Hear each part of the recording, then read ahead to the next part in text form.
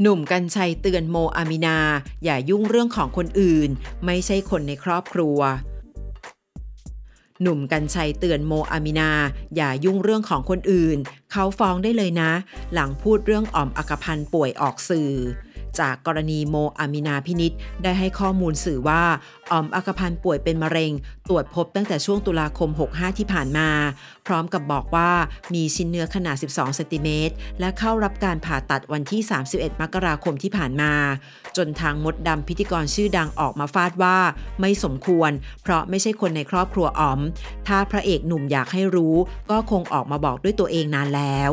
ล่าสุด หนุ่มกัญชัยถึงกับต้องเตือนโมอามินาว่า อันนี้ต้องบอกก่อนว่าตัวผมรู้จักกับน้อง แต่ในความเป็นจริง อันนี้ต้องฝากเตือนน้องว่ามันไม่เหมาะสมจริง ๆ คือถ้าน้องจะบอกว่าตอนนั้นนักข่าวมาถามเรา เราก็สามารถตอบไปว่า อันนี้ต้องรอให้ทางครอบครัวออกมาให้สัมภาษณ์เอง ไม่ได้หมายความว่านักข่าวถามเราเราต้องตอบหมด คือเรื่องบางเรื่องมันไม่ใช่เรื่องของเรา ขอโทษนะครับ มันคือเรื่องในครอบครัวของเขา